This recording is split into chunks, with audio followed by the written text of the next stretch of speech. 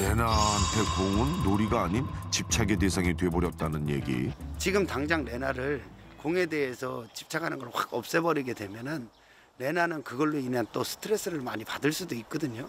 그렇기 때문에 음, 우리가 약간의 어떠한 절제를 해줌으로써 레나한테 어떤 솔루션을 해주는 게 맞다라고 봅니다. 지금 보면 이 안에 간식이 들어가게 돼 있잖아요. 음, 공에 대한 집착을 없애려 공을 뺏거나 없애버리면 더 스트레스를 받을 거라니 공을 집착의 대상이 아닌 간식이 나오는 새로운 놀이의 대상으로 서서히 바꿔주는 게 필요하다고. 한참 동안 공을 굴리며 안에 있던 간식을 모두 먹고 나면 그래서 먹을 거가 안 나오면 저거에 대한 관심은 더 이상 안 보인다. 음 정말 그럴까요? 아무리 그래도 공인데? 근데 정말 공에서 더 이상 간식이 나오질 않자 어? 어? 어? 공 앞에서 등을 돌려버린다? 정말 신기하네요.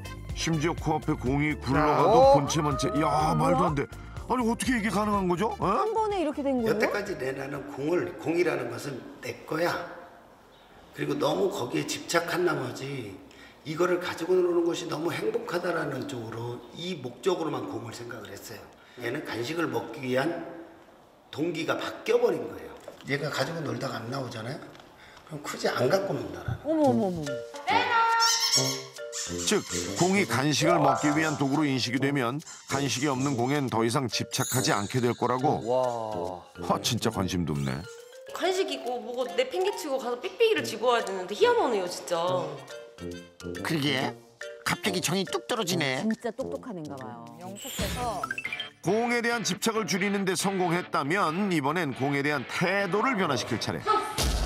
지금까지 레나한테 공은 때를 써서라도 언제든 가질 수 있는 물건이었다면 이제부턴 주어진 임무를 수행해야만 얻을 수 있는 보상의 개념을 심어주는 훈련을 시작한 건데 애가 머리가 진짜 좋으니까 뭐든 빨리 배워요. 네. 공에 살고 공에 죽는 레나답게 공을 얻기 위해 어려운 어질리티도 거뜬히 해내는 레나. 집중력도 좋고. 야 이거 몇 번 해보지도 않았는데 얘 너무 잘한다. 어쩜 실수 한 번을 안 하냐?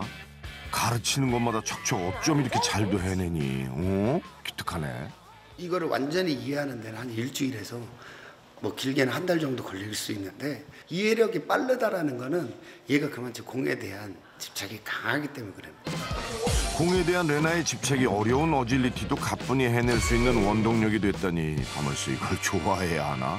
뭐 암튼 이왕 이렇게 된 거 난이도를 좀 더 높여봤는데 야 공에서 시선을 떼지 않고도 한 치의 실수 없이 장애물을 통과하는 레나. 오 주인과 함께하니 더 신나 보인다. 오 마무리까지 완벽하게 성공! 우리 리나 진짜 잘한다. 엄청 잘 배우네. 이렇게 공놀이 좋아하는 것도 모르고 언니가 맨날 공 빼앗아서 미안해. 우리 이제 맨날 연습해서 어질리티 지금도 나갈까? 안 내려놓는 거 봐. 어, 안 내려놓는 이제 우리 공놀이도 적당히 하고 재밌는 놀이도 많이 하자. 유기견이었다는 게 믿어.